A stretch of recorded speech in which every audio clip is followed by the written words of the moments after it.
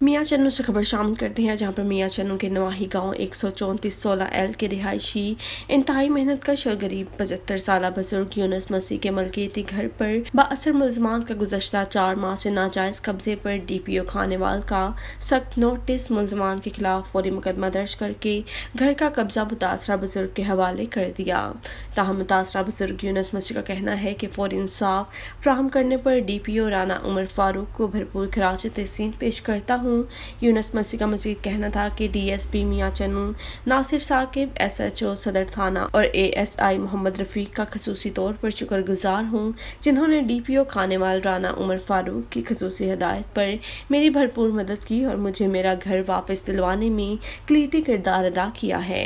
इस मुतलिक पुलिस हकाम का कहना है कि ऐसे जराइम पेशा और समाज दुश्मन अनासर किसी किस्म के रियायत के मुस्तक न है। बुज़ुर्ग यूनस मसीह को मुकम्मल इंसाफ फ्राहम करने के लिए इंसाफ के तमाम तकाजे पूरे करने और मदद करना पुलिस की बुनियादी ज़िम्मेदारी है। मुलजमान के खिलाफ सख्त कानूनी कार्रवाई होगी और उन्हें कैफर किरदार तक पहुँचाएँगे।